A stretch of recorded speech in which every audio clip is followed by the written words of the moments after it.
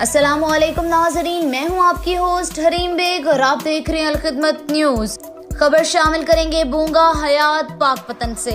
हमारे रिपोर्टर इमरान हाशमी की रिपोर्ट के मुताबिक, बूँगा हयात सिकंदर चौक के मंशियात फरोश ने तौबा कबूल कर ली। प्रेस क्लब बूँगा हयात के सीनियर सहाफियों से मुलाकात के दौरान गुफ्तगू करते हुए हक नवाज़ वट्टू ने कहा कि मैं खुदा को हाजिर, नाजिर जानकर मंशियात फरोशी जैसे मकरू धंधे से पक्की तौबा करता हूँ। अल्लाह पाक मुझे माफ़ करे। इन दोबारा कभी भी इसके नज़दीक नहीं जाऊँगा। असलकुम मेरा नाम हाकन वाल भट्टू है। मैं सबसे पहले press club. Press club chairman Sheikh Zafar Iqbal सदर याहिया फरूकी साहब इमरान हाशमी साहब। मैं इनसे बहुत ज़्यादा मशहूर हूँ। जिन्होंने मुझे गलत काम करने से जिन्होंने मुझे इस गलत काम करने से जान छुड़वाई। अल्लाह का लाख लाख शुक्र है।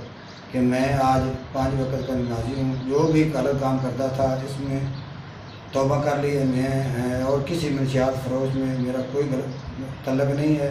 जो मनशियात फ़रोख्त करते हैं, इन भाइयों से मेरी गुजारिश है कि मैं खुदा के लिए ये बहुत गंदा काम है। इसका कोई फ़ायदा नहीं है।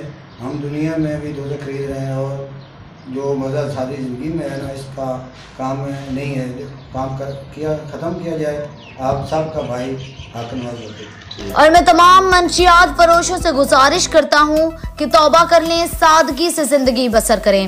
हक नवाज़ भट्टू ने मजीद गुफ्तगु करते हुए कहा कि अब मेरा किसी मंशियात फरोश के साथ कोई ताल्लुक नहीं है और ना ही पुलिस मुझे नाजायज तंग करे। मैं चेयरमैन सेठ ज़फ़र इकबाल सदर राना मोहम्मद याहिया फारूकी और सेक्रेटरी इंफॉर्मेशन इमरान हाशमी का बहुत ज़्यादा मशहूर हूँ, जिन्होंने मेरी मंशियात फरोशी से तौबा करवाई और नेक रास्ते पर लगवाया।